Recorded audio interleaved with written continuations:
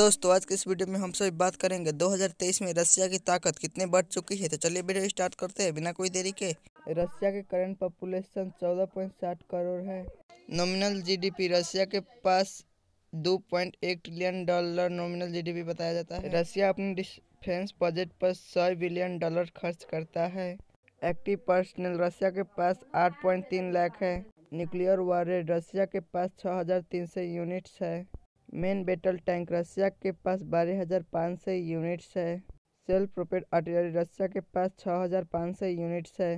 Toward artillery guns Russia के पास 5,000 units है। आर्मोडेड व्हीकल रशिया के पास 40,000 यूनिट्स है। मल्टीपल रॉकेट लॉन्चर रशिया के पास अड़तीस सौ यूनिट्स है। टोटल एयरक्राफ्ट रशिया के पास बयालीस सौ यूनिट्स है जिसमें मल्टी रोल जेट है सात सौ अस्सी यूनिट्स है और अटैक एयरक्राफ्ट सात सौ पचास यूनिट्स है। अटैक एयरक्राफ्ट रशिया के पास 550 यूनिट है।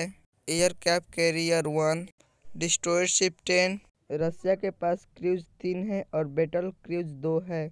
Frigates eleven, corvette eighty six, submarine seventy.